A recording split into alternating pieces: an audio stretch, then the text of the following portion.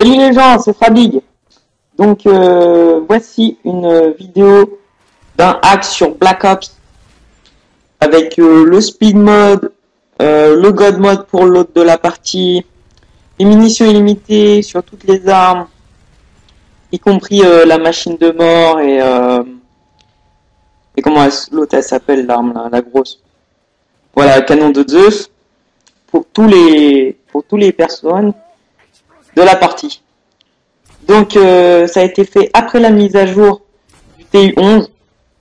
Donc euh, après toutes les mises à jour, aucun risque de ban même de ban, excusez-moi, euh, en ligne, car ça se fait en infection avec la JTAG. Donc voilà, il y a le no clip aussi qui permet de voler. Donc voilà. Donc même l'arme par défaut, Avec munitions limitées, hein, comme je l'ai dit. Et on peut faire sur toutes les maps.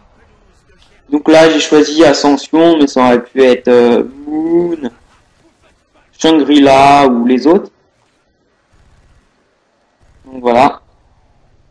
Vous pouvez récupérer des armes par terre. Voilà, pas besoin de recharger. Vous voyez en bas à droite, les munitions euh, se rechargent automatiquement. Donc là, j'utilise le pistolet pour faire un peu de points. Donc le seul truc qui est chiant, c'est que comment dire, c'est qu'on n'a pas les points illimités, mais bon, voilà quoi.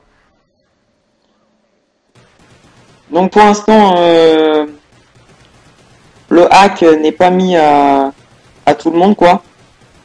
Il n'est pas release, comment on dit en anglais, un truc comme ça. Voilà, pour vous prouver que ça a bien été fait après la mise à jour, vous pouvez voir sur la flèche le l'atout 3, euh, 3 armes. Et voilà. Et la date.